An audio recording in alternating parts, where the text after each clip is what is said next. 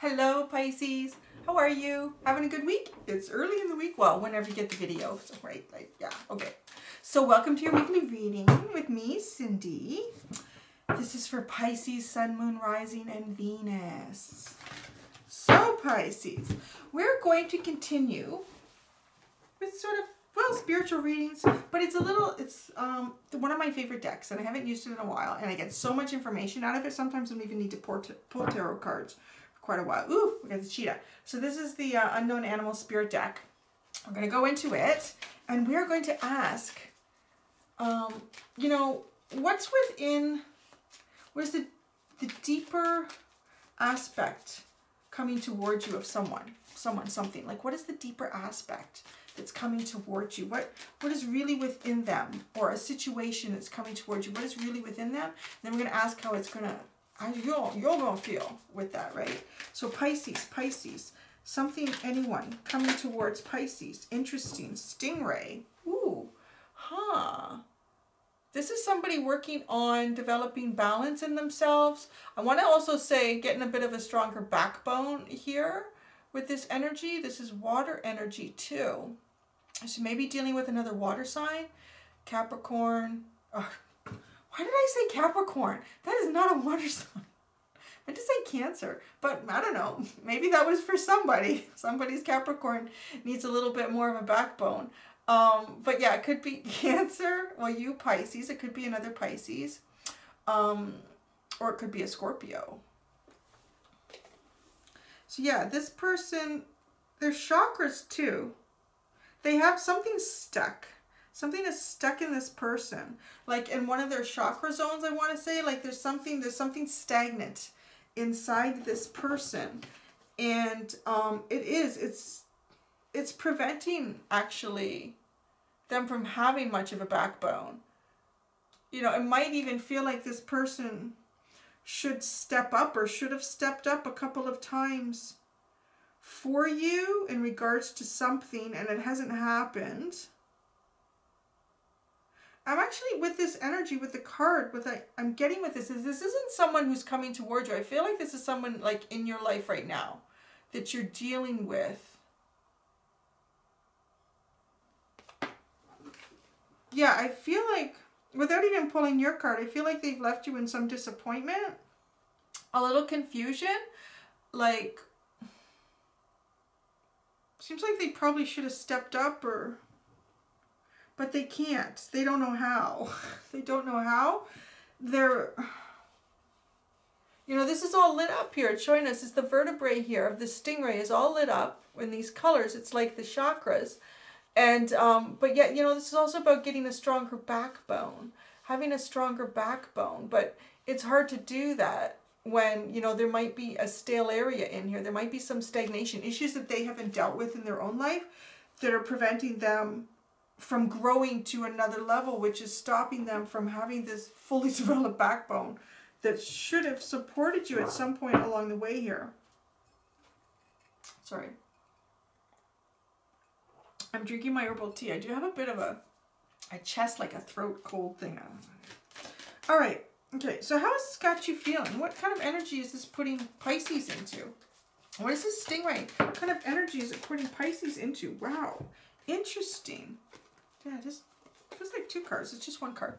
So frog energy here, more water, more water signs. It's getting you deeper into yourself here.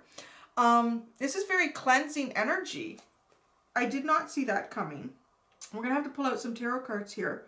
Very, oh, oh no. Okay. Yeah, no. It's actually not very cleansing. Typically this card is, but that's not what I'm getting. I'm getting almost like, it, it feels like it's about to pour. It's about to pour on me now. And I really need this person to step up with whatever it is that this person hasn't been stepping up for. Or coming to your defense, like a backbone. people are walking all over them or they're letting others walk on you. And yeah, it started off as a trickle. It's like, okay, now it's starting to pour. It's starting to pour. Like, do you think maybe you could step up at some point, um, Stingray, and help me out here? Interesting. All right, let's learn more about your stingray person. I'm going into my Shadowscape Tarot.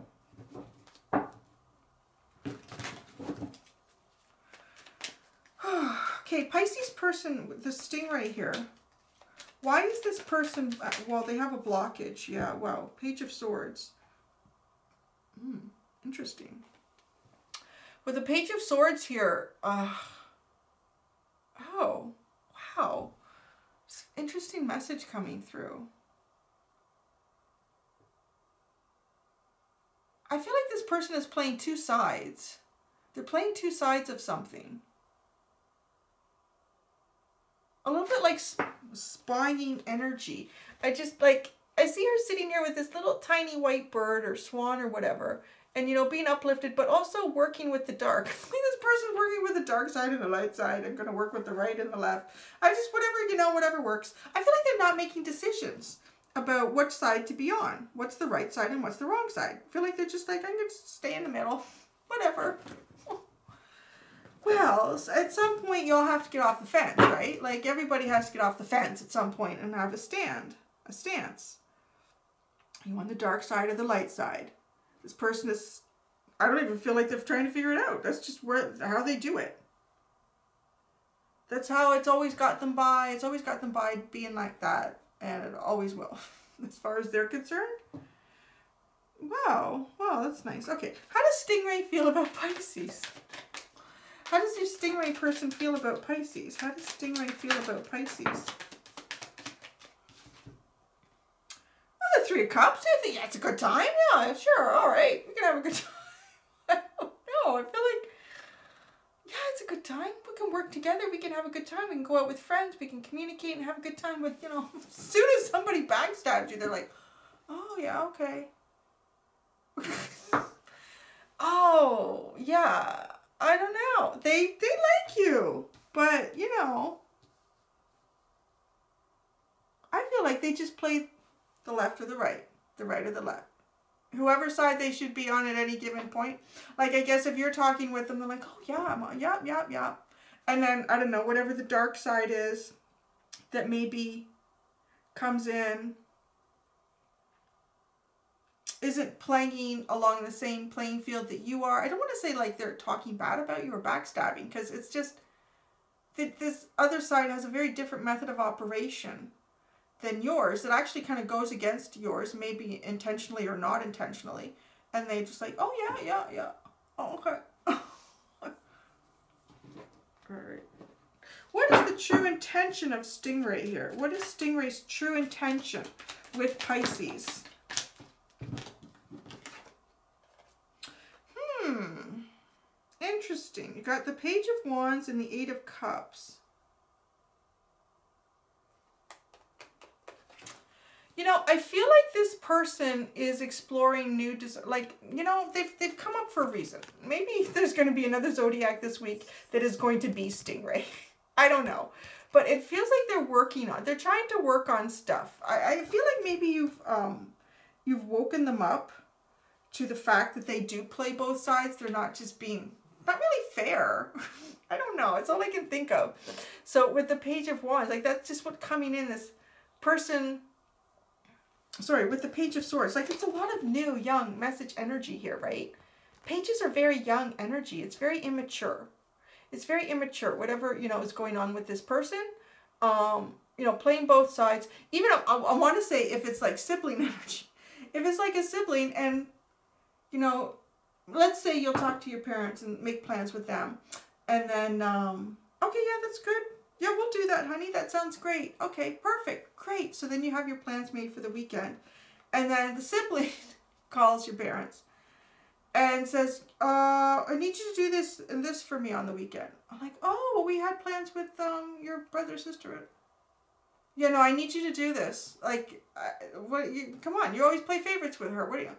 All right, all right. Like, I don't know. I just feel like, so maybe it could even be a parent energy I don't know. It's um it's easily swayed, this stingray person.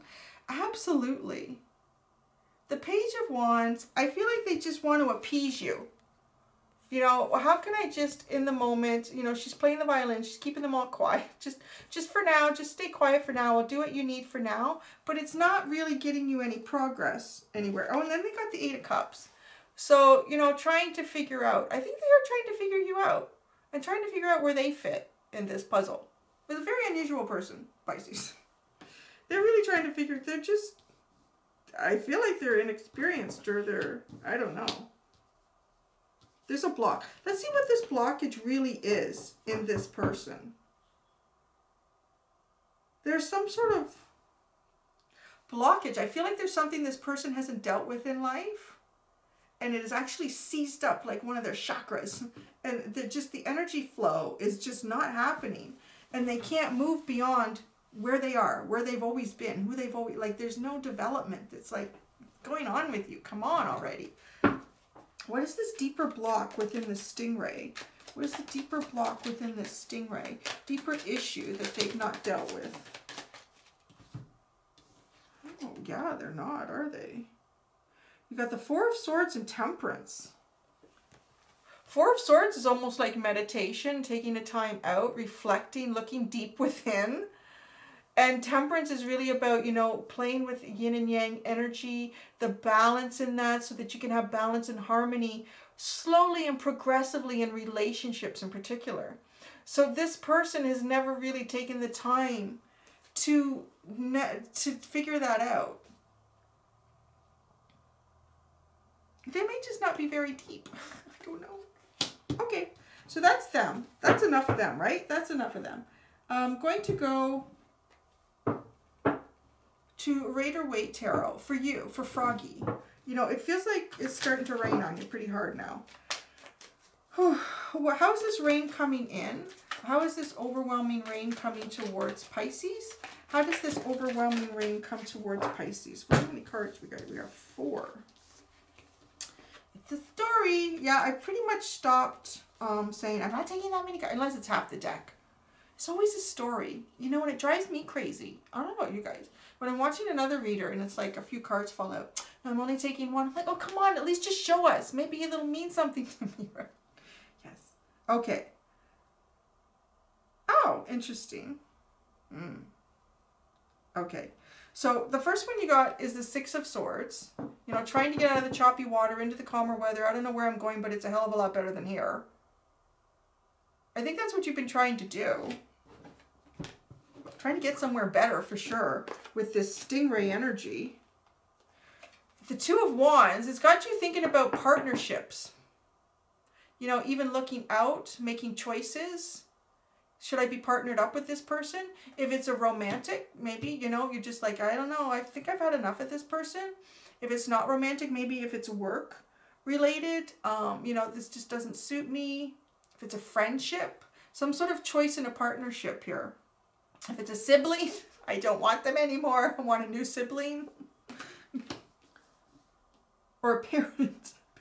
Because it's not so much the sibling. The others, the other people are not doing anything to specifically go against you. It just feels like that this person is the in-between. This is the go-between. And they're not going between very well. And then the Nine of Wands. Like, you know, I've really been battered and worn here. Getting kind of battered and worn with this. You know, you're still winning. You're still the winner there, and you're almost ready to release the burdens. But then we get happy again with the Three Cups, which they had. The Three of Cups. So this is happy celebration. So that's how they see you. Yay! So they do see you as the Three of Cups too, like happiness, celebration, I want to say collaboration too.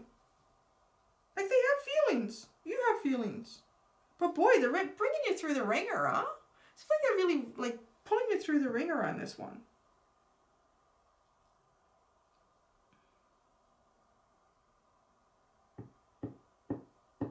Okay, so why? Why now? Why is this person in your life? Like why? Do you ever wonder that? Like just why? Why are you here? Why is this person in your life now? You got four cards again. Oh, wow. Oh, it's always a test, isn't it? So we have the Four of Wands. You did get four cards. So this is um, union, coming together, divine, beautiful union, coming together. Soulmate card too. This person is probably part of your soul tribe. They're driving you to drink. Don't soul tribe people always do that? That's their job. Drive you to drink.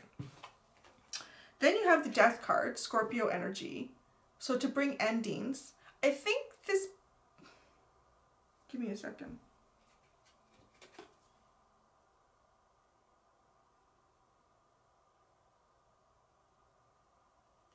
This per okay, so this person triggers you to bring endings to things that aren't serving you, is what they do. This is what they do. This is their soulmate contract with you. To bring ending to, endings to things that don't serve you. The, isn't it funny? You're getting some repeats here that they had in the Eight of Cups. To make you really look, dive down into what it is that you want. To really think about what you want to go on that journey in yourself. Because you are triggering them to do that. You trigger each other. You both have the Eight of Cups and the Three of Cups here. You both see celebration in each other, but also, you know, I need to stop and think about what it is I really want here, because this person is triggering me. And then the Ten of Cups, which is happiness and fulfillment. So there is happiness at the end of this story. There is happiness at the end of this story, Pisces. But boy, this person really drags you through it, don't they?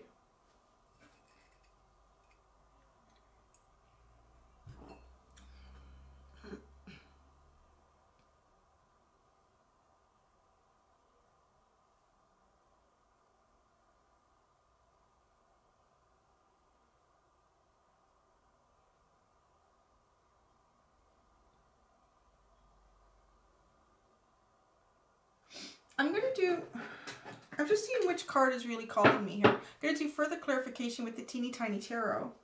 Um, I want to know what kind of a union this brings.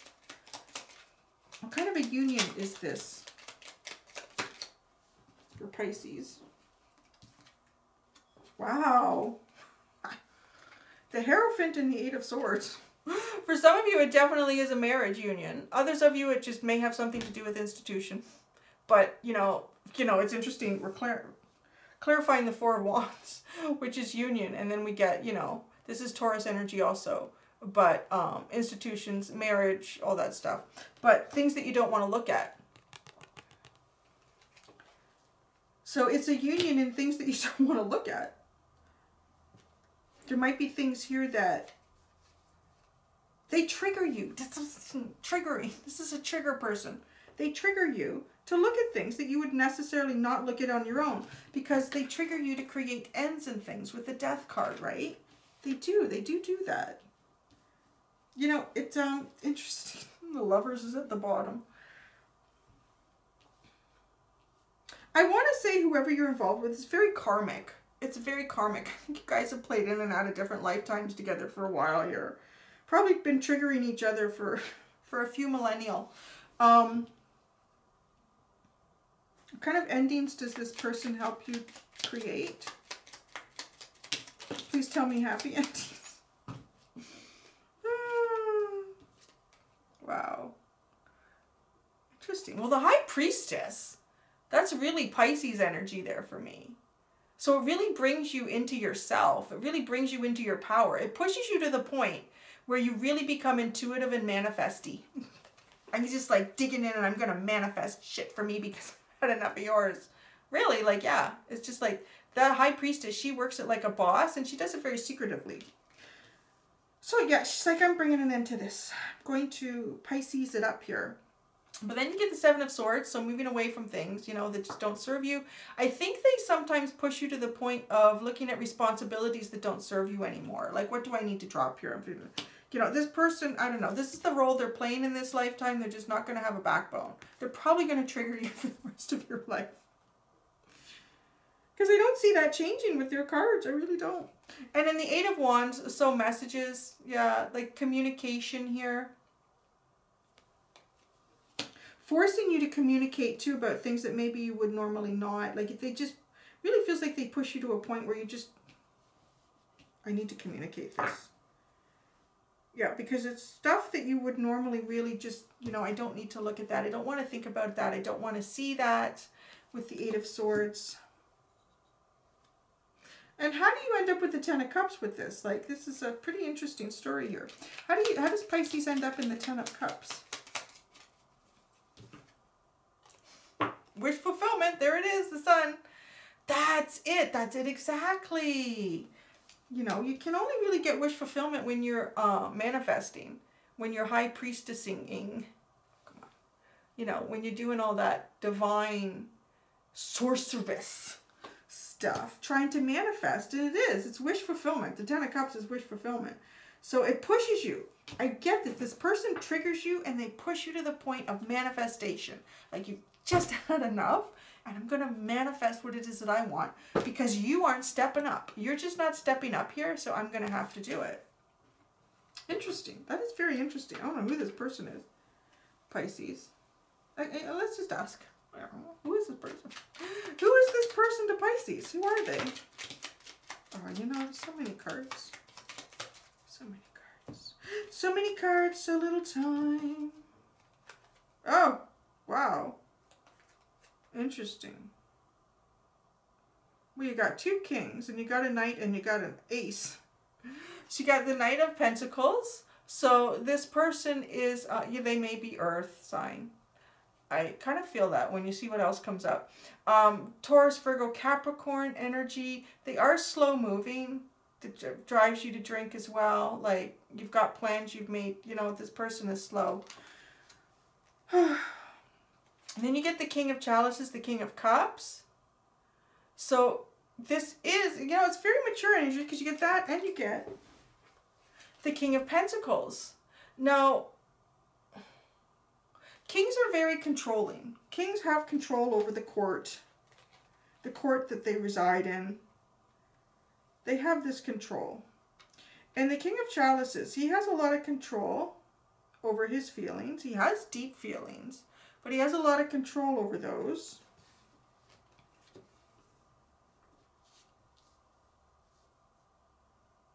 And you can express like your feelings with the King of Chalices and feel very safe in that. Like it's not a bad energy. The King of Swords would probably just slash you up. Like, I don't have time for that wishy-washy. the King of Pentacles here. This this dude's also pretty good, huh? Like, this guy's really worked for what he has. Um, you know, I'm really feeling like for some of you this is a fatherly figure, to be honest. An older person in your life, you just think like you should just be doing better for me at this point. And the Ace of Cups. This person overflows with love for you. They really do. They absolutely overflow with love for you. It just may not seem like it because, you know, they're slow moving, and they're pulling out king's ear. So they're in control. They have a lot of control about how they feel. They're they're the matriarch is sort of the energy that I'm getting from this person and it's designed to trigger you in this lifetime and make you manifest your 10 of cups, make you manifest your wishes, your wish fulfillment here is how that goes with this person. Is it interesting?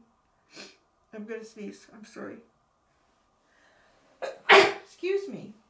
I am fighting that bit of a cold. Let's get into the journey of love oracle deck for you. But let, it is matriarchal. You know, some of you, maybe your spouse is older than you because we did. I don't want to forget about that. And this is very matriarchal. My gosh. Very matriarchal energy around you with this person. Maybe it's your boss. I don't know. But they have a lot of love for you. They're like, I love you, Pisces I just, you know, I have to make sure everybody's happy on both sides. A final message to Pisces from the Journey of Love Oracle deck. A final message to Pisces from the Journey of Love. The Journey. Oh, just one come out of my hand. All right then. Contemplation 69. 69.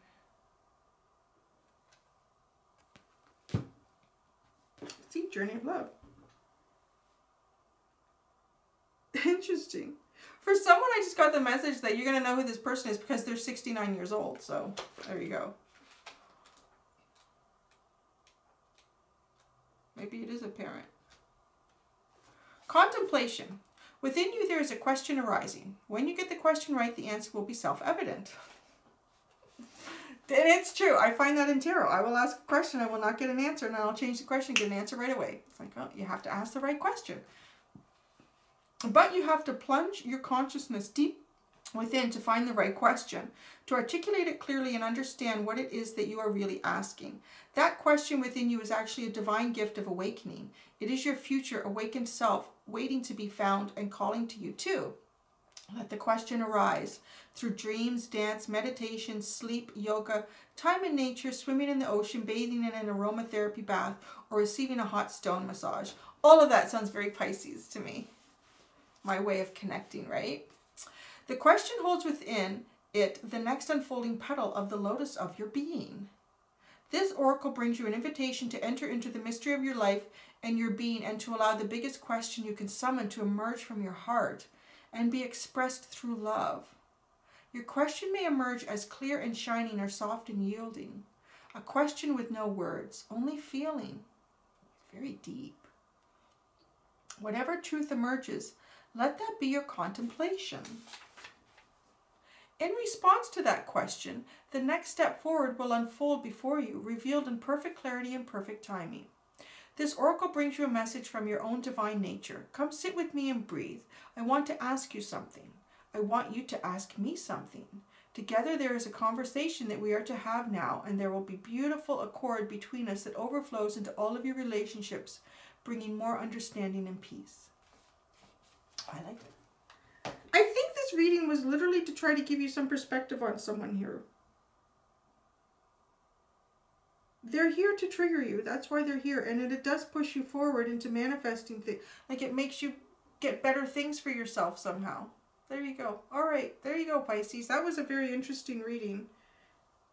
It was almost a little bit um, esoteric. It did verge on Capricorn energy, which is really interesting. Because isn't that what I called that at first? when I was calling out the water signs. That's really funny because Capricorn does have a tendency to be like that. And I could see this energy of this person being a little Capricornish too. Capricornish sounds like a new soup dish. But anyways, okay. Thanks, uh, Pisces. Have a good week. Until next time, be gentle with yourselves. Bye.